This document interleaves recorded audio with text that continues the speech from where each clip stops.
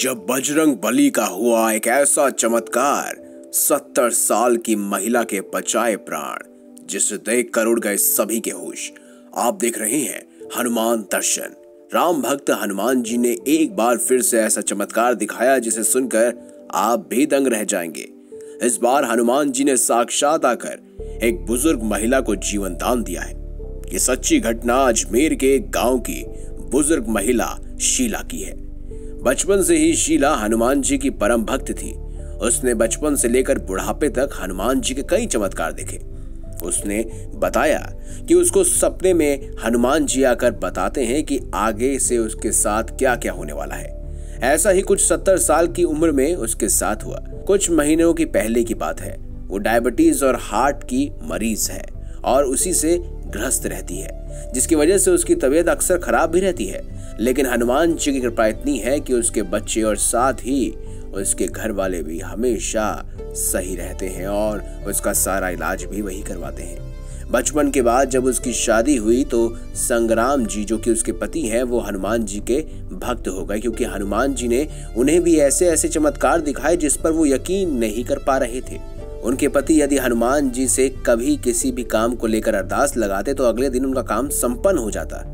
इन्हीं चमत्कारों की बदौलत आज उनका जीवन अच्छे से चल रहा है। हनुमान जी की असीम कृपा की वजह से उनके घर में किसी भी चीज़ की कोई कमी नहीं है। दो लड़कों की नौकरी सरकारी है और एक लड़की की शादी हो गई है। वो भी ससुराल में अब खुश रहती है। हनुमान जी की इतनी कृपा उनके लिए बहुत है। वो अपने जीवन में सबसे बड़े चमत्कार की अगर बात करें तो उन्हें एक बार फिर से जीवन दान दिया था। यह सुनकर आपको आश्चर्य होगा, लेकिन यह सच्ची बात है। हनुमान जी ने खुद आकर उनकी जान बचाई थी।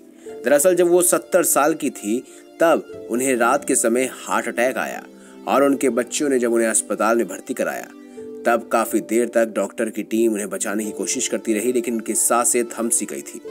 उनकी बॉडी जब उनके परिवार वालों को सौंप दी गई तो उनके छोटे बेटे ने कहा कि, हनुमान जी, हम सब आपके भक्त हैं। हमारी माँ के साथ आप ऐसा नहीं कर सकते। इसके बाद उनके बेटे ने उन्हें हनुमान जी के मंदिर के सामने घर ले जाकर लेटा दिया और हाथ जोड़कर मंदिर के सामने बैठ गए।